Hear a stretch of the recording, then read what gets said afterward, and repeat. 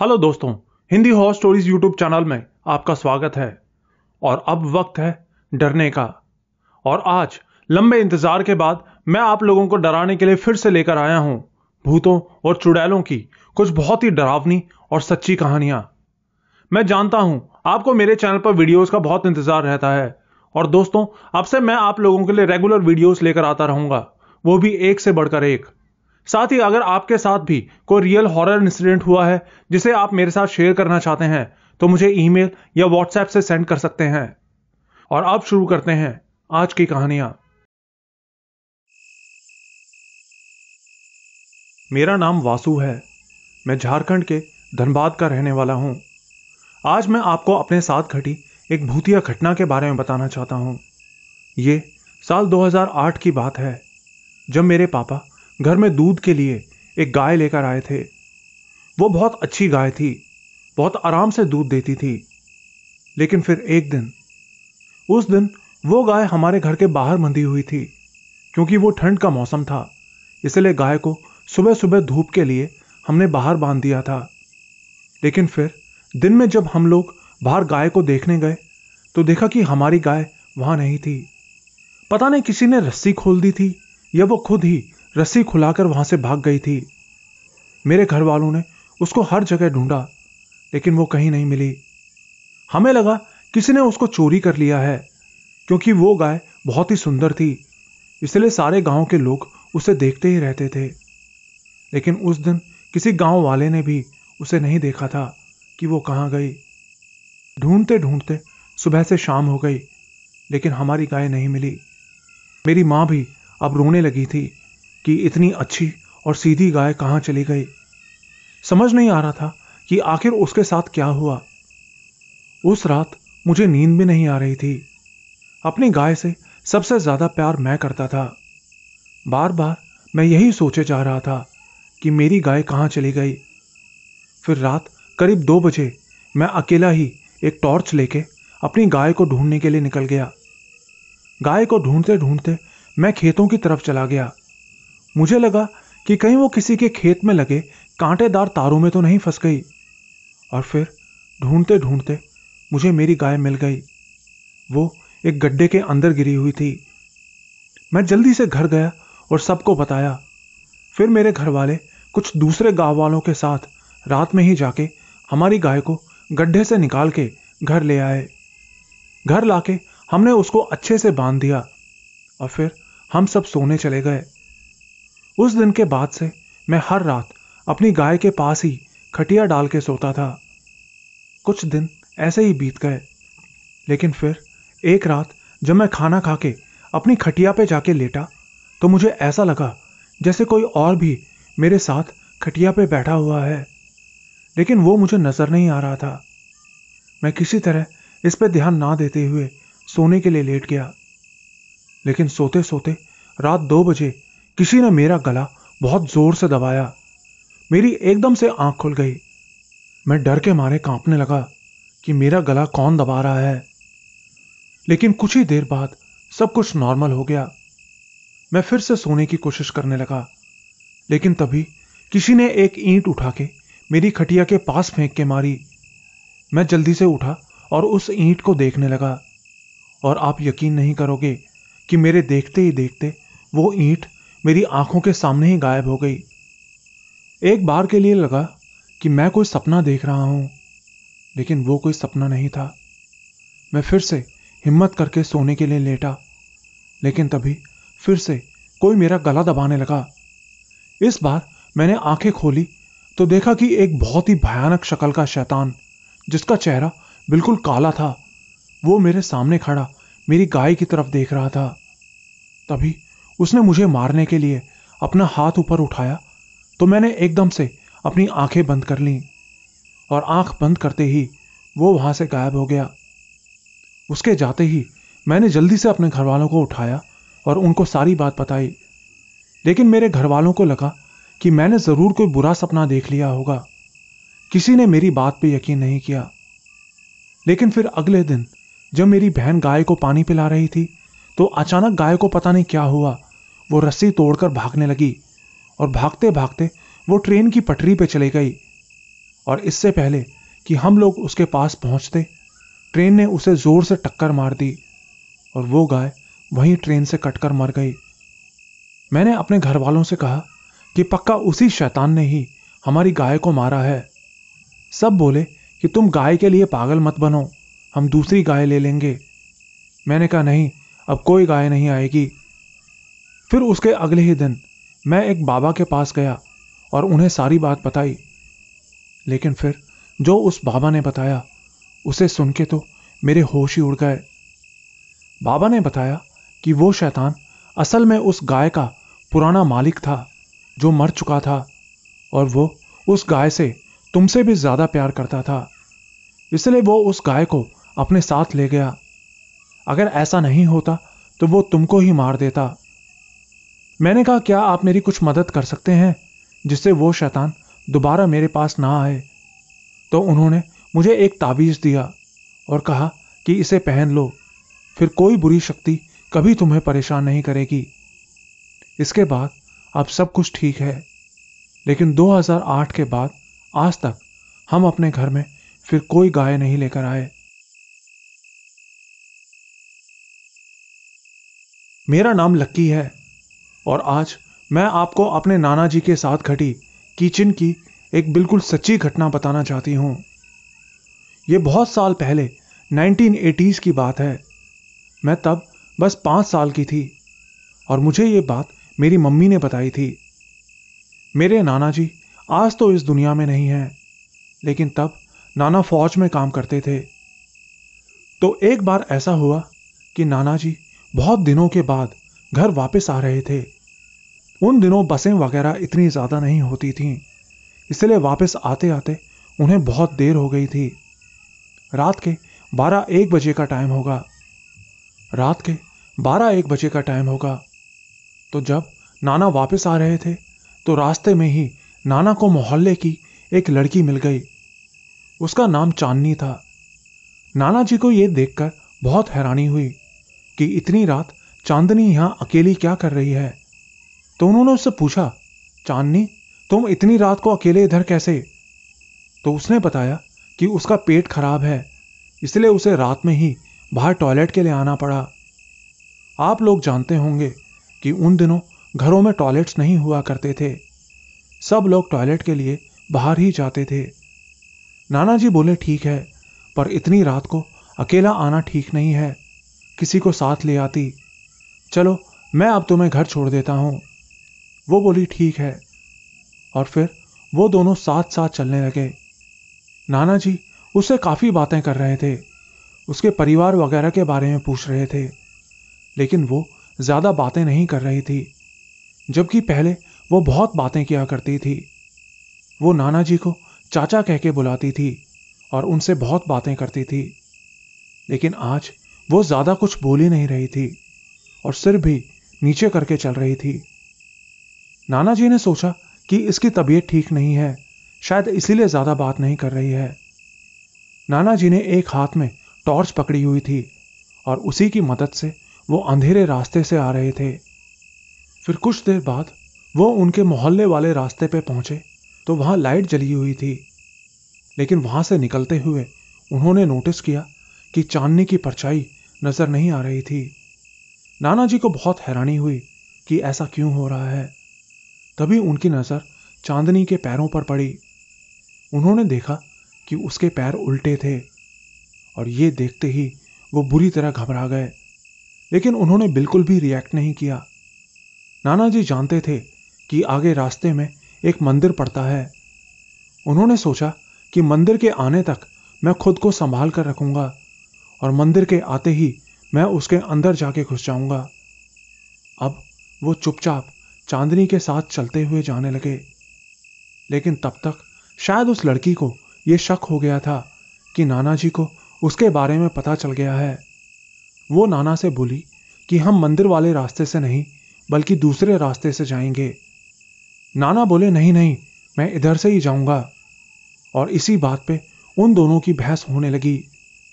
अब वो लड़की बहुत ज़्यादा गुस्से में आ गई और उसने नाना जी का हाथ पकड़ लिया। बोली, तुम्हें वहीं से जाना होगा। नाना जी अपना हाथ छुड़ाने की बहुत कोशिश कर रहे थे, लेकिन उसने नाना का हाथ बहुत ज़ोर से पकड़ा हुआ था। इतनी ज़ोर से कि उसके नाखून भी नाना के हाथ में गड़ रहे थे। तभी नाना हनुमान जी को याद करने लगे और जैसे जैसे वो हनुमान जी का नाम ले रहे थे, चांदनी की पकड़ उनके हाथ से ढीली होती जा रही थी। फिर कुछ देर बाद, जैसे ही उसकी पकड़ ढीली हुई नाना जी जल्दी से दौड़ के गए और मंदिर की बाउंड्री से छलांग लगा के मंदिर के अंदर घुस गए और अंदर जाके रोने लगे और भगवान को याद करने लगे कि भगवान ने आज उनकी जान बचा ली। वो पूरी रात मंदिर के अंदर ही बैठे रहे। फिर सुबह चार बजे के करीब गाँव के लोग बाहर टॉयलेट जाने के लिए निकलने लगे तो उनको अपना एक दोस्त भी नज़र आ गया, जो कि लालटेन लेकर टॉयलेट के लिए जा रहा था। उन्होंने ज़ोर से उसको आवाज़ देके उसको अपने पास बुलाया। तो नाना को ऐसे वहाँ बैठा देख वो नाना से पूछने लगा कि तुम्हें क्या हुआ है? नाना बोले, मैं सब कुछ बताऊँगा, पहले घर चलते हैं। फिर वो नाना के साथ उनको घर तक छोड़ने आया और फिर नाना ने सबको रात की पूरी बात बताई। लेकिन तब उन्हें पता चला कि चांदनी की तो कई महीने पहले ही मौत हो गई थी। उसने मोहल्ले के ही एक कुएँ में कूदकर सुसाइड कर लिया था। असल में वहीं के एक लड़के के साथ उसका अफेयर चल रहा था, जिससे वो प्रेग्नेंट हो गई थी। जब चांदनी के घर वालों को यह बात पता चली तो वो उसे पीटने लगे। तब तक उसकी प्रेगनेंसी को भी छह सात महीने हो गए थे, इसलिए अबॉर्शन भी नहीं हो पा रहा था। उस लड़की के घर वाले भी उनकी शादी के लिए तैयार नहीं थे। आखिर में परेशान होकर उसने कुएँ में कूद के अपनी जान दे दी। लेकिन मरने के बाद से ही गाँव के लोगों को उसकी आत्मा उसी कुएँ के आसपास भटकती दिखाई देने लगी। कुछ ही दिनों बाद वो जो लड़का था, अजय, उसके पिता की भी अचानक से मौत हो गई। सब लोगों ने मिलकर उनका अंतिम संस्कार किया। लेकिन उनके मरने के कुछ दिन बाद से ही अजय की भी तबीयत खराब रहने लगी। और फिर धीरे धीरे वो लड़की चांदनी उसको दिखाई भी देने लगी। वो रात में अजय के घर के अंदर आती थी और उसको अपने पास बुलाया करती थी। वो अक्सर मोहल्ले के लोगों को भी दिखाई देती। वो सबसे कहती थी कि मेरी अजय से शादी करवा दो, नहीं तो मैं मर जाऊँगी। फिर एक दिन अजय और उसकी माँ एक पंडित को अपने घर बुलाकर लाए और अपने घर को मंत्रों से बंधवा दिया। पंडित जी बोले कि अब वो तुम्हारे घर के अंदर नहीं आ सकेगी। लेकिन इसके बाद भी वो घर के बाहर से ही उसको आवासें देके बुलाती थी। वो मोहल्ले के लोगों को दिखाई तो देती थी, लेकिन कभी किसी को नुकसान नहीं पहुंचाती थी। फिर कुछ टाइम बाद जब उस इलाके में डेवलपमेंट होने लगा तो उसकी आत्मा भी कुएँ के आसपास दिखाई देना बंद हो गई। वो आदमी, अजय, आज बूढ़ा हो चुका है, लेकिन आज तक भी उसकी शादी नहीं हुई है। मुझे भी नानी के यहाँ गए कई साल हो गए हैं। पता नहीं वो आदमी आज ज़िंदा भी है या नहीं, लेकिन अगर मैं वहाँ गई तो उस कुएँ की फ़ोटो आपको ज़रूर भेजूँगी। जिस कुएँ में उसने सुसाइड किया था, अब उसके आसपास प्राइमरी स्कूल बन गया है। और बहुत सारे घर भी बन गए हैं। इसलिए अब वो वहाँ किसी को दिखाई नहीं देती। शायद उसने अपना बदला ले लिया होगा, या फिर उसको मुक्ति मिल गई होगी।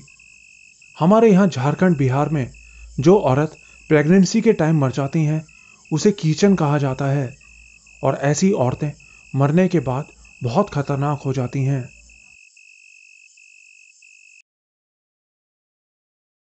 मेरा नाम जे के रॉय है। मैं पुलिस में हूँ। मैं आपको अपना एड्रेस तो नहीं बता सकता, लेकिन मैं आपको अपने एक केस के बारे में बताना चाहता हूँ, जो साल 2016 में मेरे पास आया था। यह केस मेरे पास तीन सालों तक चलता रहा, लेकिन मैं आखिर तक भी इस केस की फ़ाइल को क्लोज नहीं कर सका। मुझे वो डेट अच्छे से याद है। 29 जून 2016 मेरे सीनियर ने मुझे एक केस हैंडओवर किया था। असल में हमारे इलाके से पिछले कुछ समय से बच्चे लापता हो रहे थे और इन लापता होने वाले बच्चों में लड़कियाँ सबसे ज़्यादा थीं। तब तक 24 बच्चे गायब हो गए थे, जिनमें से 18 लड़कियाँ थी। हमने हर जगह नाकाबंदी की हुई थी, पूरी जाँच चल रही थी, लेकिन हाथ कुछ भी नहीं लग रहा था। तो ऐसे ही एक बार एक 22 साल की लड़की गायब हो गई। उसके घर वालों से पूछताछ में पता चला कि वो एक बड़े बिजनेसमैन के यहाँ काम करने के लिए गई थी। यह पता चलते ही हमने सबसे पहले उस लड़की के फ़ोन नंबर को टैग किया। लेकिन उस फ़ोन का पता ही नहीं चल रहा था। फ़ोन का पीछा करते करते हम लोग बड़ौदा तक पहुँच गए थे। आखिर में वो फ़ोन हमको मिल गया। लेकिन उस लड़की के गायब होने वाले दिन उसके फ़ोन से बहुत सारी कॉल्स की गई थी। लेकिन फिर एक एक कॉल किए गए नंबर को ट्रैक करते करते हम उस आदमी तक पहुँच गए। पता चला कि वो उस घर का नौकर था, जिसमें वो काम करने के लिए गई थी। जाँच करने पर पता चला कि वो नौकर बहुत ही गंदा इंसान था मतलब कि उस आदमी के अंदर बहुत हवस भरी थी। हम लोगों ने उसको इंटेरोगेशन के लिए उठा लिया और थर्ड डिग्री यूज़ करने पर उसने सब कुछ उगल दिया। लेकिन तब तक हमें बाकी के उन 24 बच्चों के बारे में कुछ पता नहीं चला था। वो 23 दिसंबर 2017 की रात थी। तब वो आदमी लॉकअप में ही बंद था कि रात में अचानक वो ज़ोर ज़ोर से उछलने लगा और चीखने लगा। वो इतनी बुरी तरह से उछल रहा था कि ऊपर छत तक पहुँच रहा था और ऐसे उछलते हुए वो चिल्ला चिल्ला के कह रहा था कि उसी ने ही उन बाकी के 24 बच्चों को भी मारा है। अगले दिन हमें इस बारे में पता चला तो हमने फिर से उससे पूछताछ की तो उसने सब कुछ कबूल कर लिया। उसी ने उन सब बच्चों को मारा था। उसने यह भी बताया कि उसने उन सब की लाशों को काट काट के नदी में, ज़मीन में और गटर के अंदर फेंका था। लेकिन हमें यह शक था कि यह काम यह अकेला नहीं कर सकता। ज़रूर इसका मालिक भी इसके साथ मिला होगा। लेकिन फिर पता चला कि इसका मालिक तो वहाँ रहता ही नहीं था। उसको कुछ भी खबर नहीं थी। कि इसके घर में क्या क्या हो रहा था। वो या तो घर पे आता नहीं था और अगर कभी आता भी था तो नीचे वाले एक कमरे में ही रहता था। ये नौकर ऊपर फ़र्स्ट फ्लोर पे रहता था, जिसमें जाने के लिए एक अलग ही रास्ता था। लेकिन हमें अभी भी यह सब हजम नहीं हो रहा था कि एक आदमी ये सब कैसे कर सकता है। इसलिए हम लोगों ने इसको हिप्नोटाइज करवा के इससे सब कुछ पता करने की कोशिश की। तो पता चला कि रात में एक सफ़ेद साड़ी वाली औरत इसके पास आती थी और इसको बोलती थी, मार दे, काट दे, रेप कर दे। और उसी के कहने पे वो ये सब करता था। लेकिन इस तरह की भूतों की बातें हमारे लॉ में नहीं चलती। फिर 2018 में जब ये जेल में बंद था और अगले दिन इसको कोर्ट डेट के लिए लेकर जाना था तो रात में ही किसी ने इसको काट के इसके छोटे छोटे टुकड़े कर दिए। लेकिन ऐसा कैसे हो सकता था? क्योंकि जेल बिल्कुल सेफ़ थी और आसपास किसी ने भी इसके चीखने चिल्लाने की आवाज़ भी नहीं सुनी थी। जिस तरह से इसने दूसरे लोगों को मारा था, ठीक उसी तरह यह खुद भी मारा गया। यह कहानी इतनी डरावनी तो नहीं है, लेकिन बिल्कुल सच है।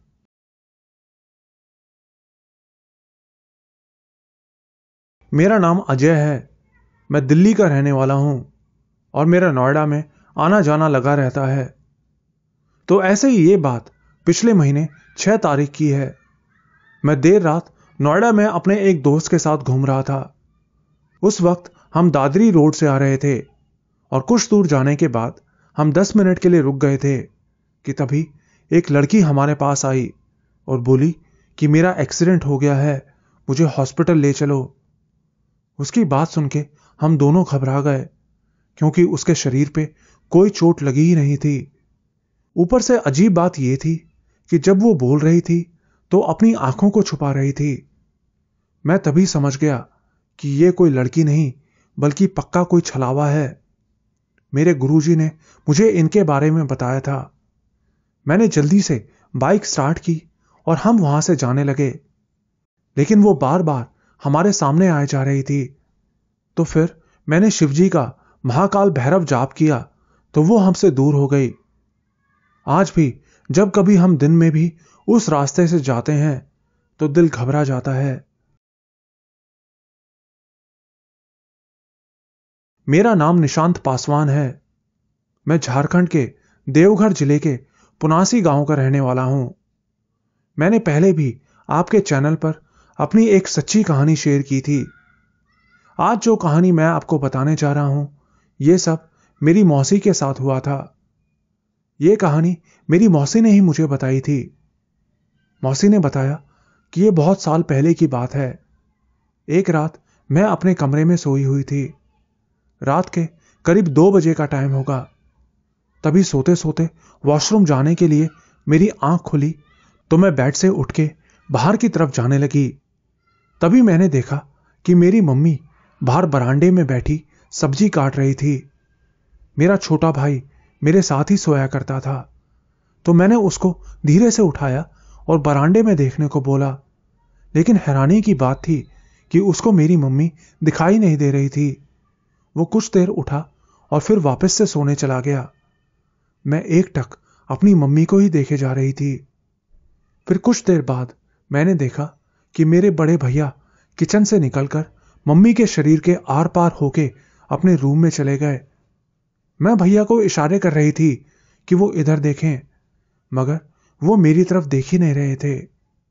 तभी मेरी मम्मी उठ के किचन में गई और एक बड़ा सा झोला लेकर किचन से निकली और बाहर की तरफ़ जाने लगी। मैं जल्दी से अपने रूम से निकली और उनको रोकने के लिए उनका हाथ पकड़ लिया। तभी वो झोला उनके हाथ से नीचे गिर गया। मैंने देखा कि उस झोले के अंदर मेरे बड़े भैया थे, जो रस्सियों से बंधे हुए थे और इतना सूख गए थे कि उनके शरीर में सिर्फ़ हड्डियाँ ही नज़र आ रही थी। ये देखकर तो जैसे मेरी जान ही निकल गई। फिर मैंने जल्दी से अपने भैया के रूम में जाके देखा तो वो वहाँ नहीं थे। मैंने वापस से मुड़ के उस झोले में देखना चाहा तो वो झोला भी अब वहाँ नहीं था और ना ही मेरी मम्मी वहाँ थी। फिर मैं भाग के अपने रूम में छोटे भाई को उठाने गई। तो मैंने देखा कि वहाँ मेरा छोटा भाई भी नहीं था। मैं बहुत डर गई और चुपचाप अपने रूम में कंबल ओढ़कर लेट गई। मैं रात भर डर के मारे सो नहीं पाई। सुबह कब हो गई पता ही नहीं चला। फिर सुबह होने पे मेरी मम्मी मुझे उठाने के लिए रूम में आई तो देखा कि मैं बुखार से काँप रही थी। कुछ दिनों बाद मेरी तबीयत ठीक हो गई। उस रात वो सब मैंने क्या देखा था, मुझे आज तक नहीं पता। लेकिन आज भी उस रात का एक एक पल मुझे बहुत अच्छे से याद है, और वो मैं कभी नहीं भूलूँगी। मेरा नाम रमन कुशवाहा है। मैं भारोड़ा नाम के एक छोटे से गाँव में रहता हूँ। एक बार मैं अपने पापा, मम्मी और छोटी बहन के साथ अलाहाबाद की लास्ट सिटी बैर गाँव के लिए जा रहा था। उस दिन जाने के लिए पापा दिन में साढ़े बारह बजे ही ऑफ़िस से घर आ गए थे। लेकिन निकलते निकलते हमें शाम के चार बज गए। पापा के पास एक पुरानी मारुति कार थी और उसी कार से ही हम वहाँ जाने वाले थे। शाम चार बजे के करीब हम सब कार में बैठ के वहाँ से जाने लगे। जाते जाते शाम के छह बज गए। तब तक हमारा आधा सफ़र पूरा हो चुका था। लेकिन फिर एक सुनसान जगह पर पहुंचकर अचानक से हमारी कार बंद हो गई। आसपास कोई मैकेनिक की दुकान भी नहीं थी, इसलिए हम वहीं किसी दूसरी गाड़ी का वेट करने लगे। वेट करते करते बहुत देर हो गई। तभी अचानक से हमें एक तेज गाड़ी हमारी तरफ़ आती दिखाई दी। वो कार इतनी तेज़ी से आ रही थी कि ऐसा लग रहा था कि ये हमें ही कुचल देगी।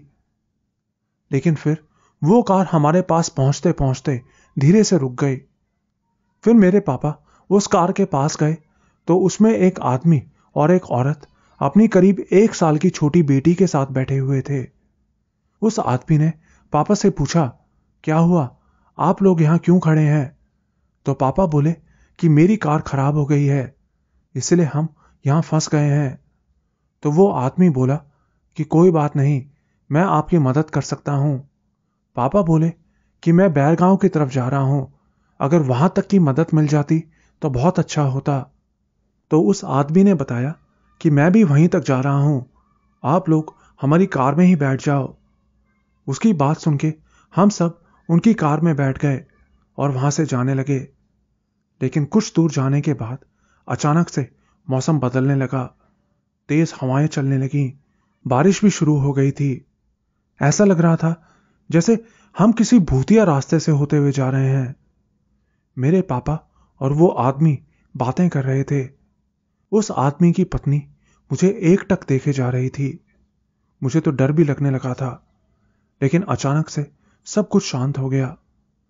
फिर हम लोग रास्ते में एक रेस्टोरेंट पर उतर गए, लेकिन हमें नहीं पता था कि उस जगह अजीब घटनाएँ होती रहती हैं। हम उस रेस्टोरेंट में गए तो देखा कि रेस्टोरेंट बिल्कुल खाली पड़ा था। पापा ने आवाज़ लगा के भी पूछा, लेकिन वहाँ कोई नहीं था। तो पापा और वो आदमी उस रेस्टोरेंट के अंदर की तरफ़ जाने लगे। बाकी हम सब बाहर ही खड़े थे कि तभी मुझे पापा की एक तेज दिल दहला देने वाली चीख सुनाई दी। आवाज़ सुनते ही हम सब जल्दी से उस तरफ़ भागे, लेकिन वो औरत वहीं बैठी रही अपनी बेटी के साथ। उसे देखकर लग रहा था जैसे उसने वो आवाज़ सुनी ही ना हो, क्योंकि उसको बिल्कुल भी फ़र्क नहीं पड़ा था। मैं और मम्मी तेज़ी से पापा की तरफ़ बढ़े कि तभी पीछे से मेरी बहन के चीखने की भी आवाज़ आई। मेरी बहन बाहर उसी औरत के पास बैठी थी तो मेरी मम्मी वापस से मेरी बहन की तरफ़ चली गई और मैं अपने पापा के पास जाने लगा। मैं डरते डरते पापा की आवाज़ की दिशा में गया, लेकिन वहाँ जो था वो देख के तो मेरे मुँह से भी चीख निकल गई। मैंने देखा कि वही आदमी जो हमें यहाँ तक लेकर आया था, वो मेरे पापा के ऊपर बैठा, लगातार उनके सीने पे वार किए जा रहा था। मेरे पापा मर चुके थे। वो देखते ही मैं डर के मारे वहाँ से बाहर भागा। तो देखा कि बाहर मेरी मम्मी और मेरी बहन भी दोनों खून से लथपथ हो रखे थे। वो देखते ही मैं चीखता हुआ वहाँ से बाहर भागने की कोशिश करने लगा। लेकिन बाहर नहीं निकल पा रहा था। तभी बाहर से किसी ने मुझे आवाज़ दी। उसने मुझे जल्दी से बाहर निकलने को कहा। मैं बाहर निकला तो देखा कि एक आदमी हाथ में लालटेन लिए वहाँ खड़ा था। उसे देखते ही मैं उसे लिपट के रोने लगा और उसको सारी बात बताई। उसने बताया कि वो सब एक छलावा था, लेकिन आगे कुछ समझने से पहले ही मैं बेहोश हो गया। फिर जब मेरी आँख खुली तो मैं एक पुलिस चौकी में था। तब तक मेरा सब कुछ खत्म हो चुका था। आज मैं बिल्कुल अनाथ हूँ।